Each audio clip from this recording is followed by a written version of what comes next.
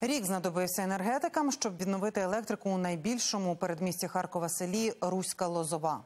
Населений пункт е, розташований в 20 кілометрах від кордону з Росією. Три місяці був під окупацією росіян, а далі під постійними ворожими обстрілами.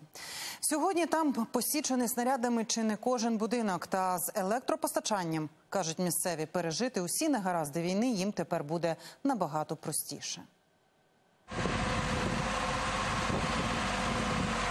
Ані гуркіт техніки, ані інші гучні звуки мешканців цієї вулиці не дратують. На енергетиків тут чекали з нетерпінням. Пенсіонерка Галина Семилюк навіть сліз не може втримати.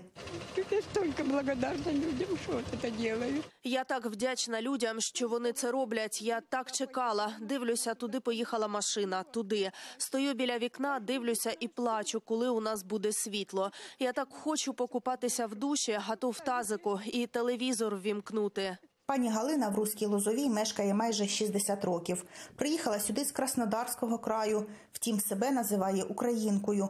У те, що Росія напала на Україну, навіть повірити спочатку не могла. Сказали, что война, война, война. Сказали, що війна, війна. А потім, як світла вже не було, а потім вже на третій день почали бух, бух, бух. Тоді ми зрозуміли, що це не жарти, це війна. Місяці окупації мешканці села, що стали заручниками російських вояків, навіть згадувати не хочуть. Виживали як могли під безперервними обстрілами. У нас еще что было? У нас ще що було. Ми тримали господарство, і перед цим ми підготувалися. Засолили в банки, нутрії були в нас, бройлери були перед війною в нас, і ці запаси нам допомогли.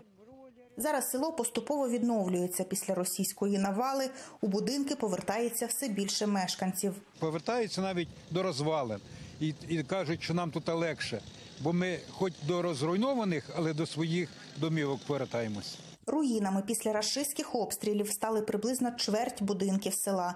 Інші більш або менш пошкоджені. Ті будинки, які мають незначні або середні е, складності е, пошкодження, вони відновлюються завдяки е, роботі державної програми. Є відновлення, люди отримують кошти. Завдяки програмам, які приймає наша Дергачівська міська рада, вона виділяються кошти і закупляються будівельні матеріали. Поверненням електроенергії і відбудова буде рухатися ще швидше, впевнені мешканці. Перша вулиця села була заживлена ще у листопаді 22-го.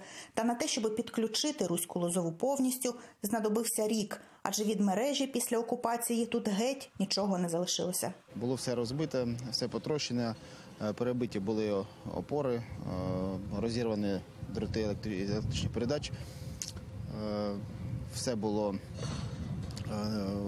заміновано, е, було дуже-дуже сильно пошкоджено. Щоб відновити електропостачання, мережу довелось фактично побудувати наново разом із трансформаторними підстанціями. Зам- Замінено повністю е, електричні дроти на ізольований, е, замінено близько 700 опор е, низьковольтних. Е, Також були замінені опори по високій е, лінії 10 кВт. На Харківщині без електроенергії і досі 71 населений пункт, і майже половина з них у так званій червоній зоні на відстані 5 кілометрів від російського кордону.